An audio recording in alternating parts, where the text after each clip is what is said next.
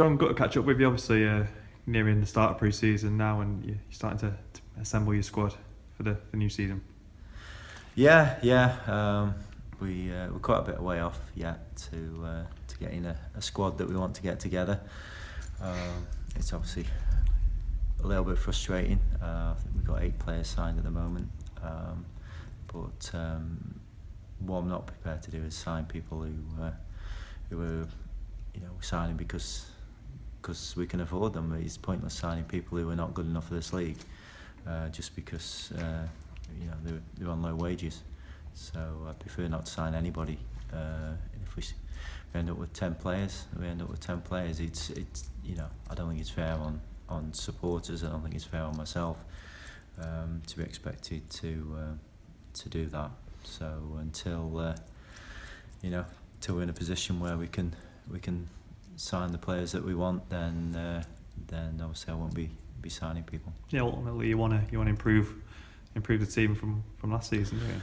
Yeah, it would be very difficult. I, you know, the players that I've already signed, I'm, I'm quite happy with. Um, but um, you know, we, we need to improve, and uh, you know, it's it's as I say, it is difficult. But unless things change, then then then we won't be able to. But uh, uh, so uh, try my hardest, um, and that's all you can do. But uh, I'm not prepared to, to compromise. Um, you know, it's it, like I said, it's just not fair. Yeah, talk us through the players that you've brought in so far. Uh, like Jared Hodgkiss. Yeah, Jared's uh, good experience. Uh, you know, he's been a good good player at uh, at conference level. He's got experience playing in the league. Uh, Swan, we all we all know about Swan. He, he's been a very good keeper. Did well for us when he was here last time. Um, then obviously George, who uh, you know uh, has been our most consistent player over the years. Uh, David, who had an excellent season last season. Um, and then Courtney, we've signed. Um, obviously, we need, we need a midfield player. He's a good age, 23. He's had a lot of uh, football. Um, so uh, he's experienced this level and, and done well. And uh, and then uh, obviously Scott Wilson, who uh, centre forward who, scored goals uh, at a lower level, went to Eastleigh. Uh, there's one or two problems at, at Eastleigh, and I'm hoping that uh, with the year under his belt at conference level, that he'll uh, he'll be someone who'll get the goals for us. And, uh, and then obviously Ryan Lloyd, who I've seen a lot of from uh, from when he's been a young lad, who uh, has got a lot of ability.